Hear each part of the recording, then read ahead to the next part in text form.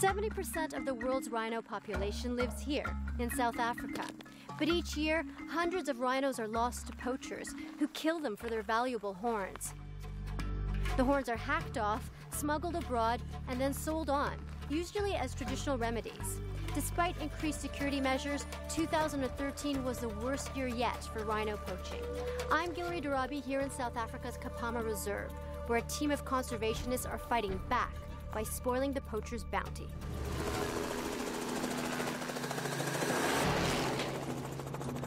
The Rhino Rescue Project is a specialist team of conservationists with an innovative idea to combat rhino poachers. I'm standing by with Lorinda Hern, who heads the project as the team helicopter scouts the 13,000 hectares of the Kapama Reserve in search of the day's first rhino.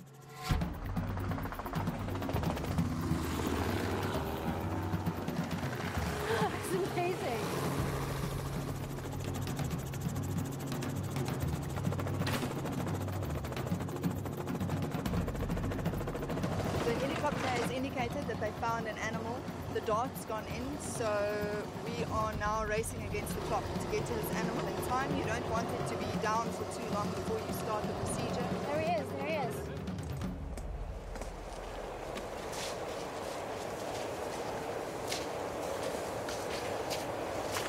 Rhino.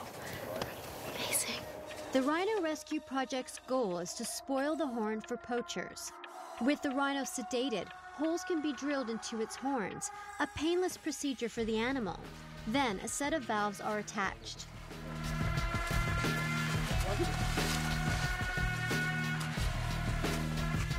The valves are connected to a pressure pump, which infuses the horn with the dye. What is particular about this dye? It's the same kind of dye that's used in the banking and cash and transit industry to stain stolen banknotes. So you can't bleach it, burn it, chemically remove it. Once it's in this this horn, um, it's basically ruined for any kind of ornamental use. What about ingesting and using it for medicinal purposes? The cocktail that we infuse along with the dye uh, is 100% safe for the animal, but toxic to humans if they were to ingest it. So it serves a dual purpose. The internal structure of a rhino horn is made of tiny fibrous keratin channels, so the dye will rapidly infuse the entire horn. The team also collect DNA samples from horn shavings and tail hair, as well as inserting microchips into both horns and the animal's body. 67, 67. that's it. A large rhino horn can sell for close to half a million US dollars on the black market. Its value is so high that even dehorning rhinos isn't enough to protect the animals from poachers. Often we find that where farmers have dehorned their animals, those animals still get poached because the most weight, of course, lies in this bottom part of the, of the horn and that's how it gets sold. They take whatever they can and Yeah. that's why sometimes you even lose calves um, in poaching incidents because even though the calf only has a, a small horn, it's so extremely valuable that they're willing to, to kill them just for that. Although it looks very dramatic, the red pinkish liquid oozing out is the dye itself, it's not blood. I just wanted to show you this from the procedure actually. So that is untreated horn material and then once it's been treated it goes this pinkish kind of color and if you smell it you can smell that there's quite a strong chemical smell. That's it. If a human ingests a horn that has been treated, what happens to them? Mild symptoms, headaches, nausea, vomiting, diarrhea, more severe symptoms, convulsions and, and um, potential nervous symptoms. Uh, so it can, it can get quite, quite severe. So that's 60,000 US dollars uh, per kilo on the black market. That's Nothing. nothing, nada. That's it. So that's the whole point. That's the point, horn devaluation. If we can remove the value from the horn, we can vest it back in the live animal where it belongs. Sorry guys, I'm going to cut you Yeah. short. Yes. Okay Yes, guys, done. you can move back to the vehicles please. Thank you. When the infusion is complete, the team administers a fast acting antidote to the tranquilizer. Now, it's known that when the rhino wakes up, It's settling snaps and it charges. That's why we've got to get out of the way because this could be a very dangerous time.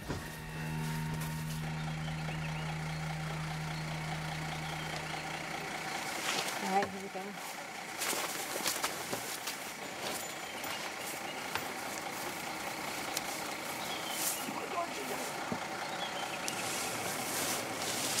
Okay. Hi. The Rhino Rescue Project is a not for profit organization which has been traveling across South Africa in a race against time to treat as many animals as they can.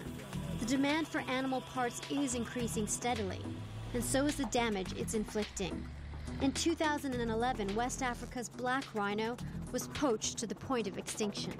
The trade in animal parts devastates and it decimates species. If we throw rhinos under the bus and we're willing to just let them go, it will be an eternal shame to the human race.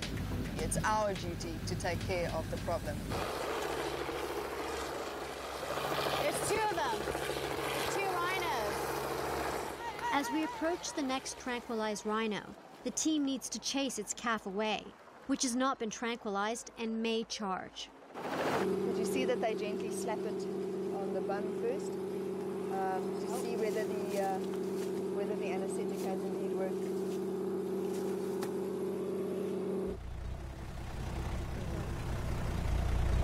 This is a very big horn. But she is a beautiful rhino. Look at that face from here and that horn. it looks almost prehistoric, doesn't it? It does, it really does. They are so docile and they are so gentle and they can hardly even see evil. They are the sweetest things.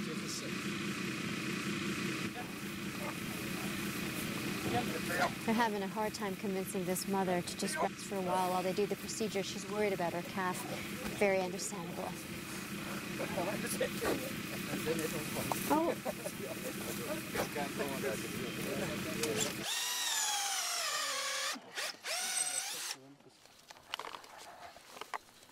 know, it's so amazing to be so close and to see the horn and to think this right here is causing huge international trade and and so many problems.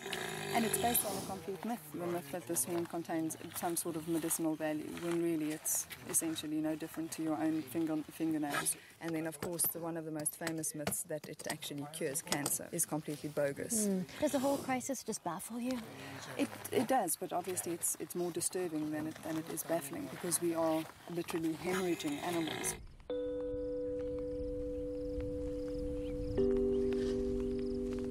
How often do you hear that there's been poachers on the land? Is that is it something Basically a hearing more and more? daily thing. Really? Yes, yes, for this area. They're killing more than uh, the number of females that can produce calves per year. Hmm. Yeah, because I don't think people understand how serious it is with the rhinos. When Rhino Rescue Project first approached you, you know, with the helicopters and the tranquilizers, what did you first think?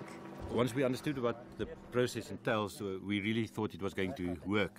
Yeah, these guys try and make a difference. Yeah.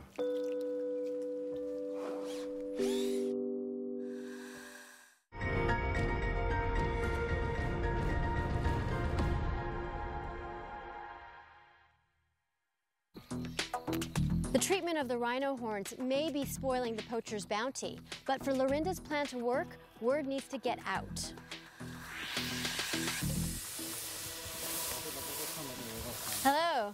Hi, I'm Gelareh. Albinel. Nice to Nice meet you. you. What's going on here? Okay, literally, this is basically the sign that we're putting up on the fence line. Mm-hmm. And it says, warning, rhino horns on this property are contaminated with toxins and should not be handled or consumed by humans. And then most important is this picture down here for people that cannot read. It's a clear picture, there's a rhino, there's the horn, it's red, there's poison. If you touch it, you're touching the red and it's dangerous. So if they just come in to drive past and see, are there perhaps rhinos, they'll immediately see the signage and they'll say, there's a bigger risk than normal because we have a risk of being shot and then at the end of the day they cannot use the horns. So this works really well in conjunction with the work you've already been doing for many yeah. years. Yes, but this is another tool that's assisting us to make it the rhino horn um, uh, not, not lucrative for the poachers. Another sign going up. Thank you very much, Jane. I think you're going to reach the top ones better than I am. I see here it's been translated into an Asian language. Which one is that? It's Mandarin Chin- Chinese because, according to information, that's where the most rhino horns are going to the Asian countries, and I think that's to also to warn the end consumer. How would the consumer have the opportunity to see this sign if That- they are, you know, in China or Vietnam or wherever? With the organized crime syndicates that are involved, they they'll be investigating this. You can be sure that they're gonna take a picture, send it away. So this poster isn't just for the area. You're really hoping this goes worldwide. The more people who can take notice of this, the, the better at the end of the day.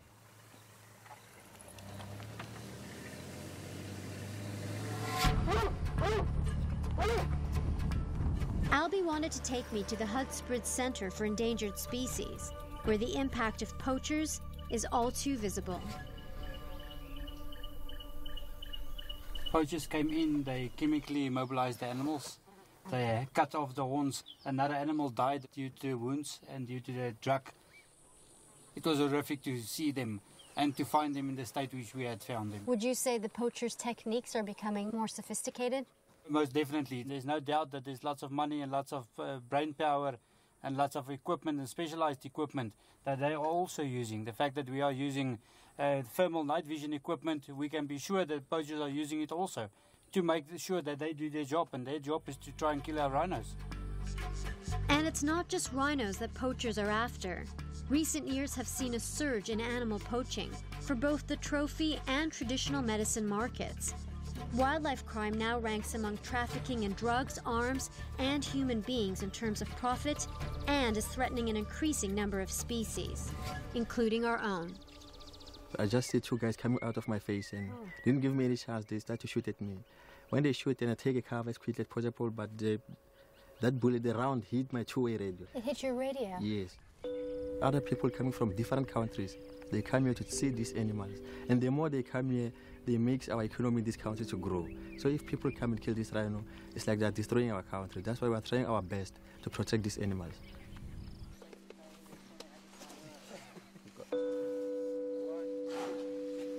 Apparently, rhinos like a good scratch behind their ear. This is their soft spot. So I've been given the task of official ear scratcher. I don't mind. The final step of the treatment is to seal the holes with special putty and wrap up the horns with duct tape. After a couple of days, the tape will come off, and the treated rhinos will be indistinguishable from the untreated ones. because you can't see which ones have been treated or not. It creates an element of doubt in the mind of the poacher. They don't know if they're going to take that risk to, to come onto a property and shoot an animal and then not be able to do anything with the horn. What kind of results have you seen? We've had unbelievable success in, in terms of being an anti poaching measure. These properties tend to be avoided and the, the poaching shifts elsewhere. If the poaching shifts, uh, we get to treat more and more animals until eventually we don't have to.